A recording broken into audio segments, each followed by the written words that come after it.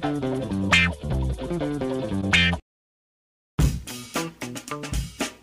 is going on with YouTube, man? I don't know if you lot know this, right? But recently, a bunch of huge YouTubers have been getting strikes they don't deserve, losing monetization on all of their videos, and even getting their channel temporarily deleted. Which makes no sense because they did absolutely nothing wrong. But it makes even less sense to punish them when they're doing absolutely nothing wrong because there are plenty of channels that are doing something wrong all the time. And they get no punishment at all.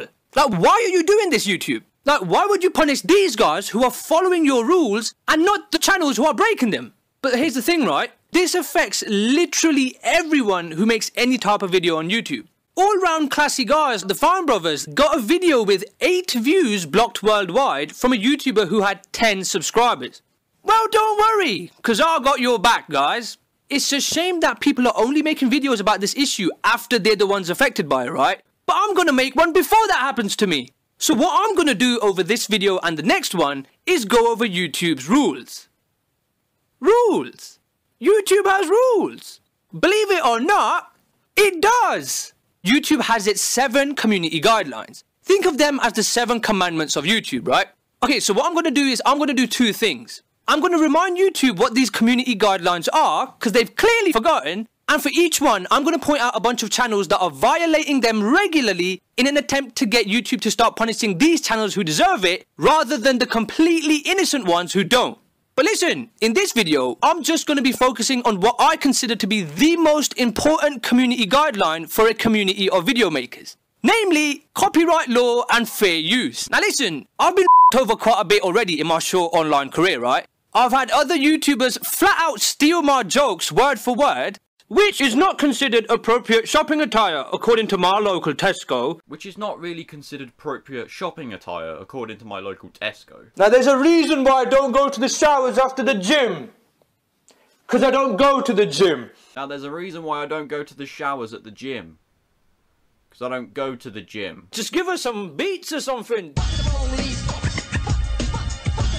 Her some beats or something. I've also had some guy use my copyrighted material to put together a fake advert for himself, which deceived and fooled a bunch of people into subscribing to him. And I've even had my videos stolen and uploaded to Facebook and Tumblr, which have at least 12 million views total on those. 12 million views! That's a quarter of my combined YouTube total to date. And it was stolen from me. So if all of these forms of theft of my material is seen as why is it not seen as when reaction channels steal people's entire videos on YouTube? Um, time for me to make money off your hard work. Alright, let's react! As I hope we've all seen thanks to the Fine Brothers, reaction channels are the scum of YouTube. And the reason for this is that pretty much every single video that reactors make completely violates copyright laws and YouTube's own community guidelines about copyright.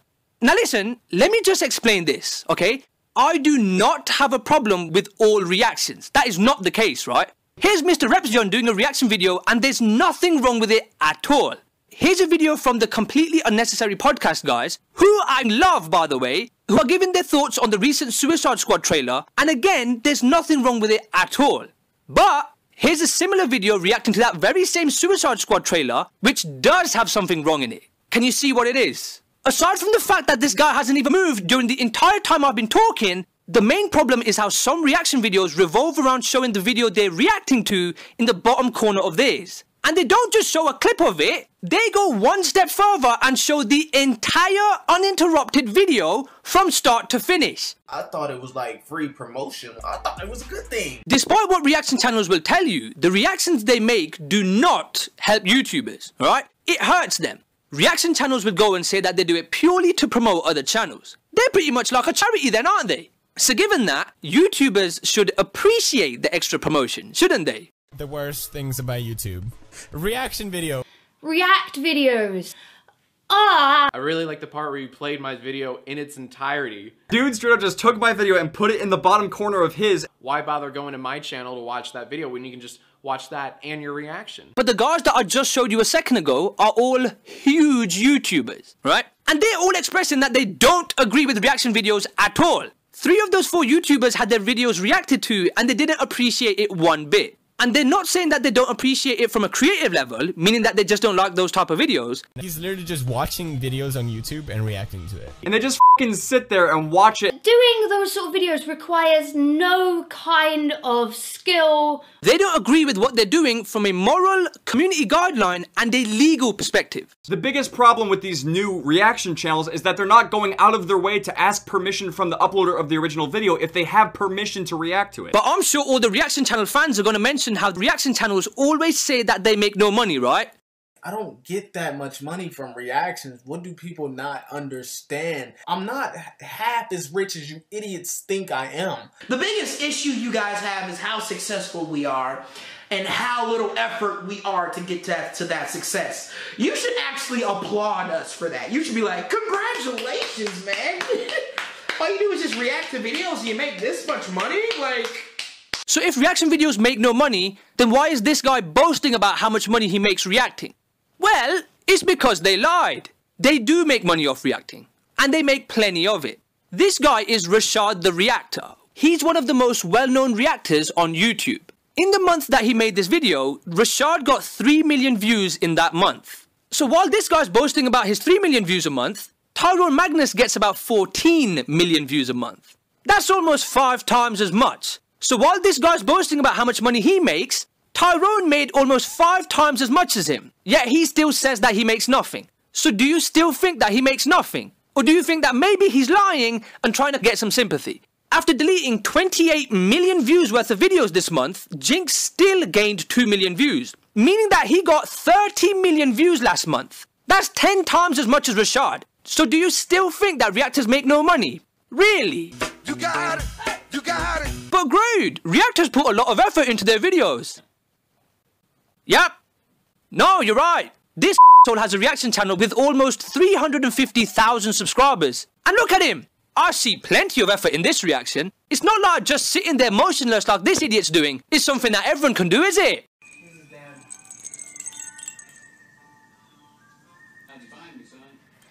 Jesus Christ, look at this one. That's one talented baby. What effort are you talking about? What effort goes into making reaction videos? Seriously. Tyrone even told me himself via DM that it's his charisma, voice, intellect, and comedy that make his reaction videos special. And all of those qualities combined enhance the viewing experience. Because I'll admit, like, sometimes the reactions on this channel, they, they can be boring. And it's true, most reaction channels are like dudes who just sit in front of their computer and they just like hit record and then they don't even have much of a personality. Tyrone, to me, he is one of the people that makes reactions good. Alright, so let's test out this claim. Let's look at a reaction that Tyrone Magnus made to my video, alright? And let's have a look at how he enhanced the viewing experience of my video. My video was 16 minutes long. In those 16 minutes, with all his charisma, intellect and comedy, guess how many words he said throughout?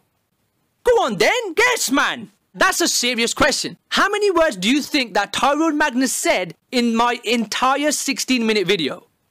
Let me tell you, alright? Seven. Seven words. I am not exaggerating this, by the way. He literally said seven words in 16 minutes. And after the video, where you would at least imagine that he would talk about the video he just watched, he didn't even do that. All he did was defend himself and talk about how he does so much more than reacting, which is not addressing any of the points I brought up in my video at all. I do not understand, right? Do other reaction channels consider that acceptable? To say a total of seven unrelated words during a video that is a quarter hour long. He was pretty much silent. Was Yeah.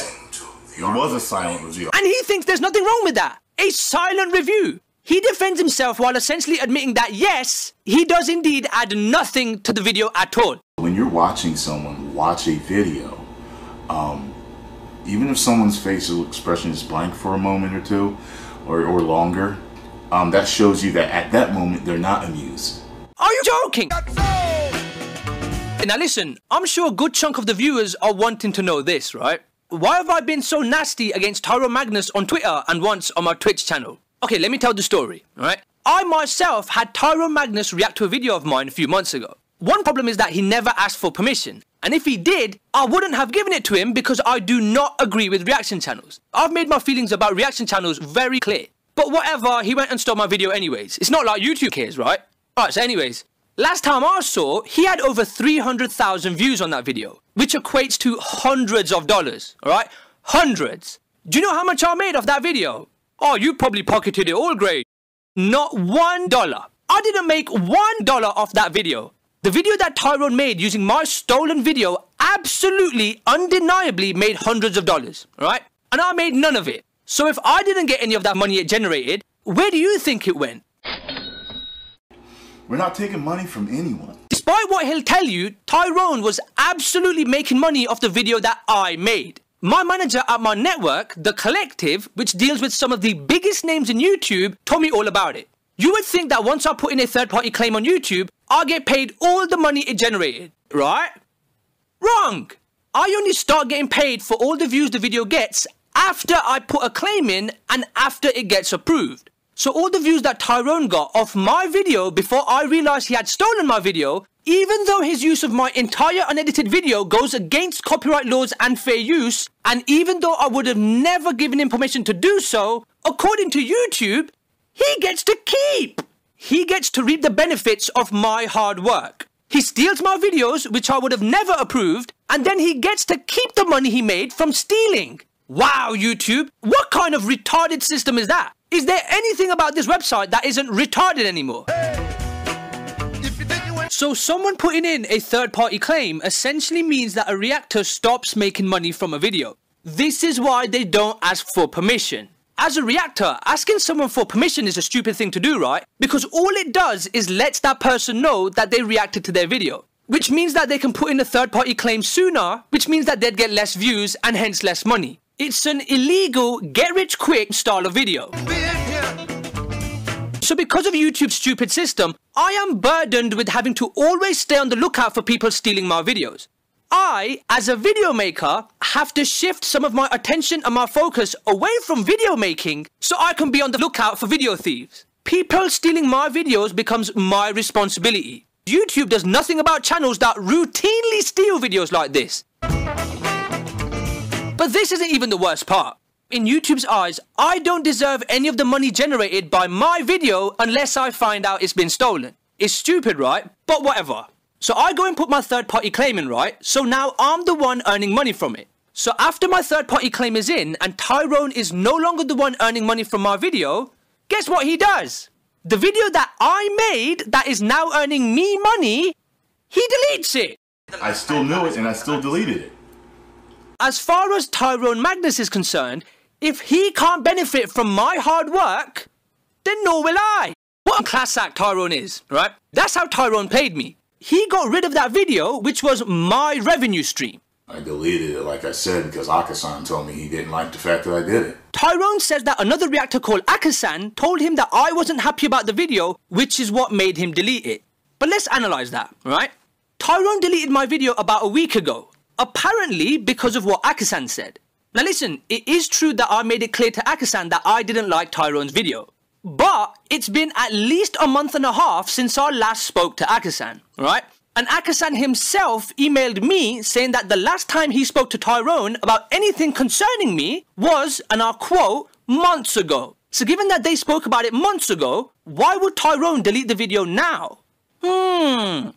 However, I put my third party claim in days before he deleted the video. So you tell me why you think Tyrone really deleted that video. Because he has my best interests at heart? Or was it because he wasn't profiting from his diss video anymore and because he couldn't give two shits about me getting paid from the video that I made? By the way, just to point this out, right? Tyrone already makes a thing of it to delete any and all hate comments that he gets. Post all your comments down below. Let me know what you all think.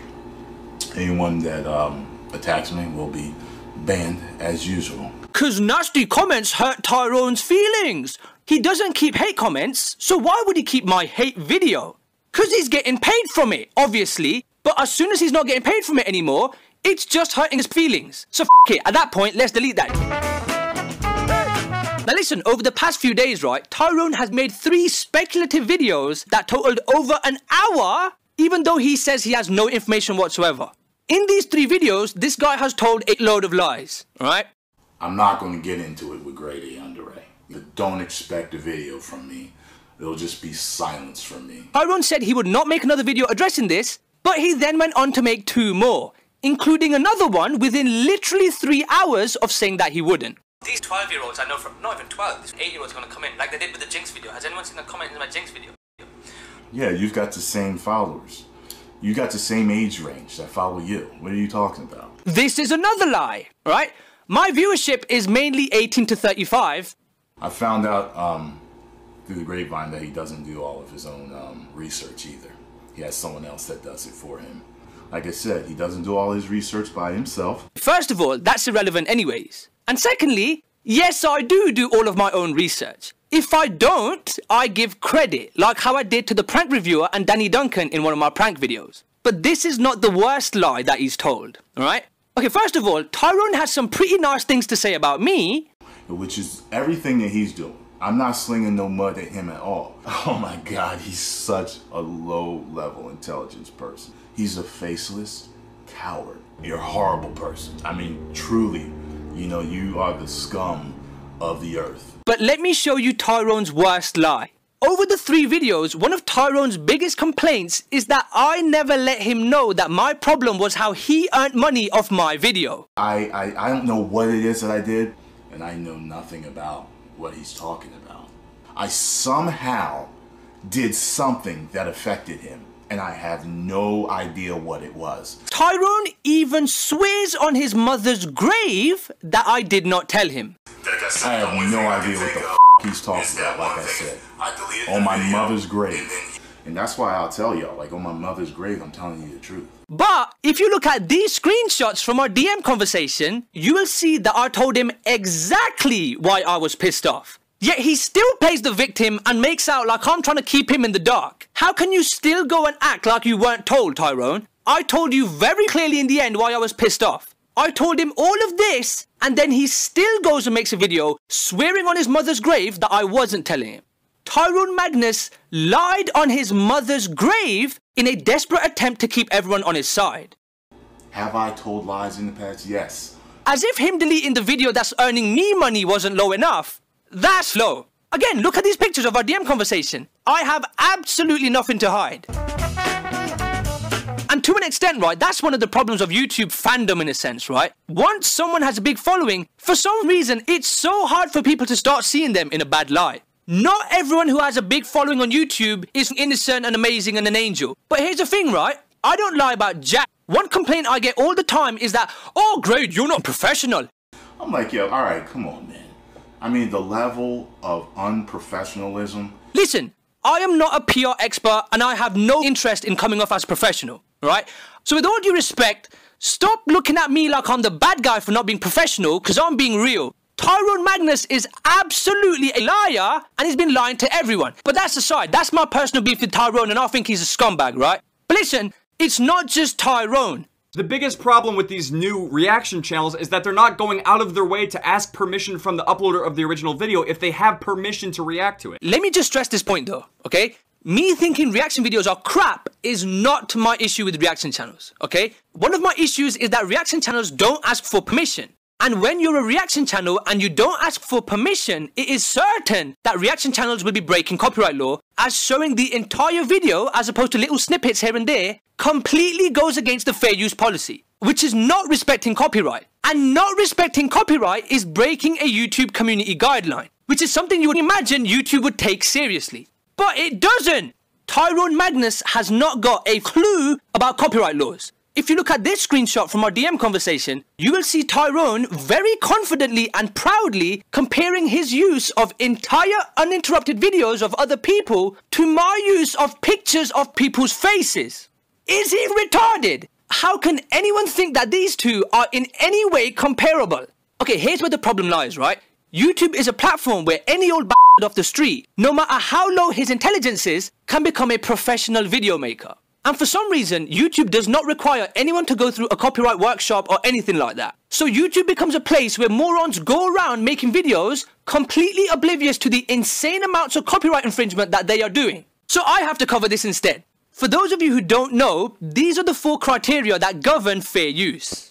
the reaction channel's showings of entire copyrighted videos in their own videos adds absolutely nothing to the original video that they're reacting to. Especially when they're admitting to doing silent reactions. So their videos are absolutely not transformative at all. A silent reaction adds absolutely nothing. So their use of copyrighted videos in the way that they do them completely violates condition 1. The third condition, they show the entire copyrighted video. You can't get more substantial than that. So the third condition is completely violated as well. Yes, even if the guy pauses in the middle to make his stupid and funny comments, because he's still showing the entire video. And using the entire video means that people have no reason whatsoever to then go and watch the original. Because they've already seen every single second of the original video in the reaction video. And this impacts the original video maker via lost views. So their use of the videos in the way that they use them does not in any way fall under fair use.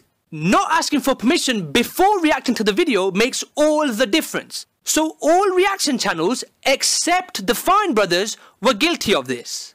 I hate when bring up the Fine Bros, y'all. Like they're exempt from it.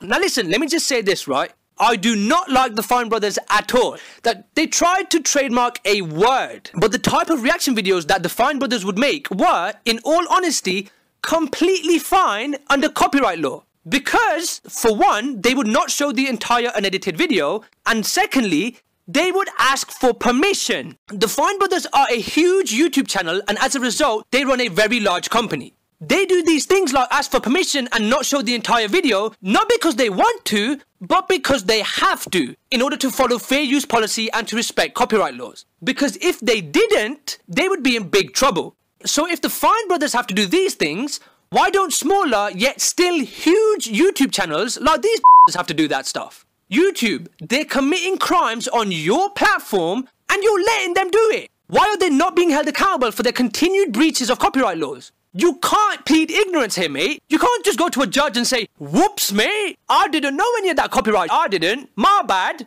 Now that's ridiculous. In the YouTube terms and services, which every YouTube user is required to agree to, you are almost immediately told about the community guidelines. You are required to read them and required to follow them, okay? Reaction channels have shown themselves to repeatedly and habitually break these copyright laws over and over again. Wake up, YouTube! Now listen, in short, right, I think it's ridiculous how YouTubers punishing people that don't break any laws, especially when there are channels that over and over again, without fail, continue to break these laws and they don't get punished at all. I haven't got a monkey's what YouTube's doing, but with all due respect, YouTube needs a reboot and needs to start again. Now listen, this was a bit of a serious video, right? Next one's not going to be nearly as serious, right? Because it's not personal to me. But Again, YouTube, open your eyes and listen to this video and the next video because you need to remember what your own community guidelines are. I should not be having to tell you this, but how sad a situation is it that I am having to? Jesus Christ. Ugh.